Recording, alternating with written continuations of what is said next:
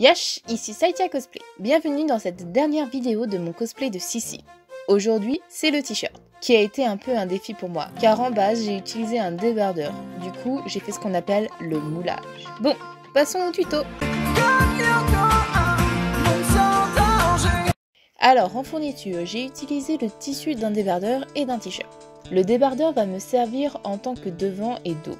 J'ai pris un haut couleur corail pour faire les manches et le contour du cœur. En parlant du cœur, je le ferai en jersey jaune. C'est le même tissu qui m'a servi pour le bandeau. Du jersey couleur bordeaux pour le col, le bord des manches et ainsi la bande du bas. Puis le reste des fournitures de couture, ciseaux, mètres, découpe-vitres, règles, équerres, épingles et un crayon. Commençons par le débardeur. J'ai coupé les élastiques tout autour ainsi que les bretelles. Ensuite, je l'enfile et j'épingle ce qui deviendra les épaules. Si vous faites le t-shirt de manière classique, prenez un patronage d'un t-shirt et reportez-le sur votre tissu. Dans mon cas, je fais de la récup avec des vêtements, donc ça peut s'avérer compliqué pour les débutants en couture. Ensuite, pour question de praticité, je pose le vêtement sur mon mannequin.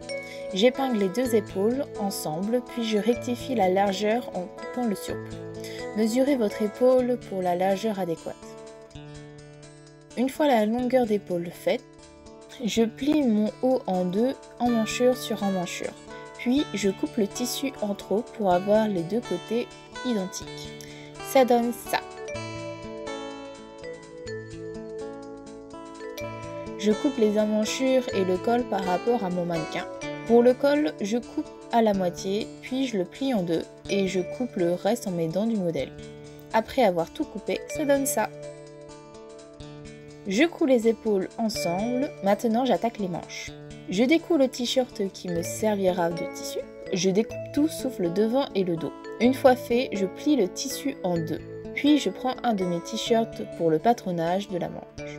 Je la pose sur le tissu, à bien faire attention que la pliure de la manche soit bien dans la pliure du tissu.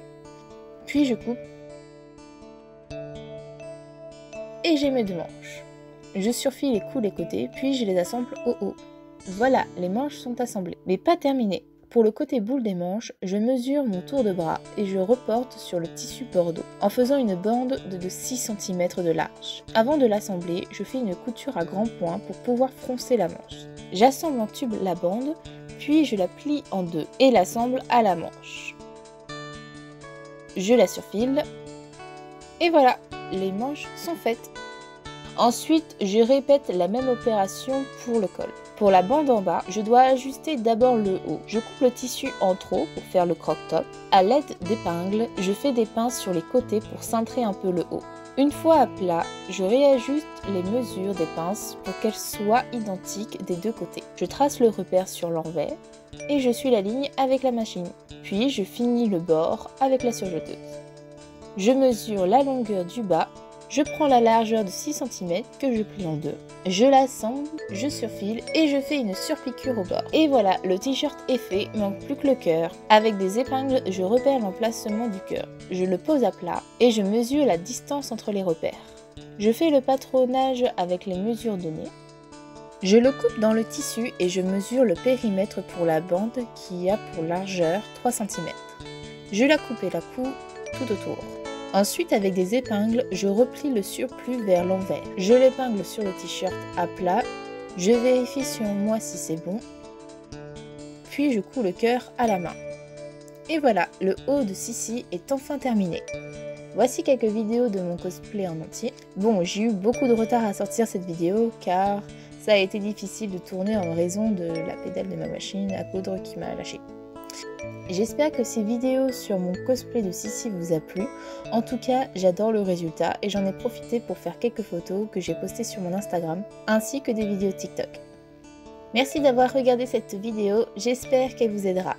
Moi, je vous laisse. J'ai de la couture qui m'attend. Bayonara